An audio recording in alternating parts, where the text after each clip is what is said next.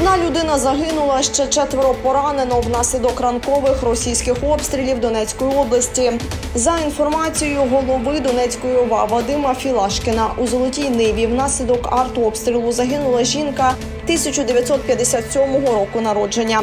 А в Терецьку постраждали чотири особи. Всі вони госпіталізовані. По місту росіяни тільки вранці завдали шість авіаударів.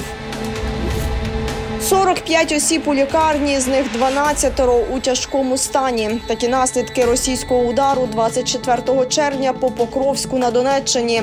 Він став одним із наймасштабніших за останній час. Про це повідомляють у Покровській міській військовій адміністрації. По місту росіяни вдарили двома ракетами Іскандер М. Били в ту саму локацію з різницею в півгодини. Окупанти потрапили в об'єкти цивільної інфраструктури та приватний сектор. Чотири людини загинуло, десятки постраждали, зокрема діти. Пошкоджено до двох десятків цивільних об'єктів.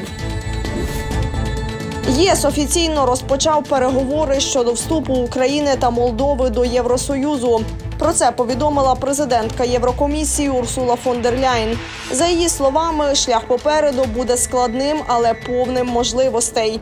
Глава Єврокомісії вважає, що народи України та Молдови продемонстрували непохитну відданість приєднанню до Євросоюзу. Урсула фон дер Ляйн наголосила, що переговори призначені, щоб підготувати кандидатів до зобов'язань членства, і саме тому короткого шляху не існує. Тим часом Данія виділить 150 мільйонів датських крон або понад 20 мільйонів євро на прискорення вступу України та Молдови до ЄС.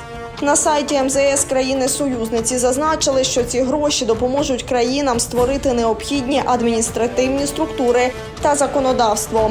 Кошти виділять до 2030 року. В Україну прибула перша партія боєприпасів у рамках чеської ініціативи щодо закупівлі снарядів. Про це повідомив прем'єр-міністр Чехії Петр Фіала. З його слів, боєприпаси доставили в Україну деякий час тому. У лютому цього року президент Чехії повідомив, що знайшов 800 тисяч снарядів для постачання Україні за межами ЄС та НАТО. Йшлося про боєприпаси калібру 122 та 155 міліметрів. Міжнародний кримінальний суд видав нові ордери на арешт. Цього разу на Терези Феміди потрапили екс-міністр оборони РФ Шойгу та начальник генштабу Росії Герасимов. МКС підозрює їх у військових злочинах та злочинах проти людяності. Підставою для ордерів стали атаки російської армії на українські цивільні об'єкти. Ці злочини були скоєні як мінімум з 10 жовтня 2022 року до 9 березня 2023 року. Уточнюється в повідомленні суду. До народного депутата Миколи Тищенка прийшли з обшуками та вручили підозру. Слідство інкримінує парламентарю незаконне позбавлення волі. Все через інцидент у Дніпрі, коли охорона Тищенка побила екс-військового Дмитра Павлова на позивний син. Під час цього Павлов був із маленькою дитиною. Скандал виник через те, що екс-військовий зробив зауваження Тищенку та його команді, що вони ходять містом зі зброєю та у військовій формі.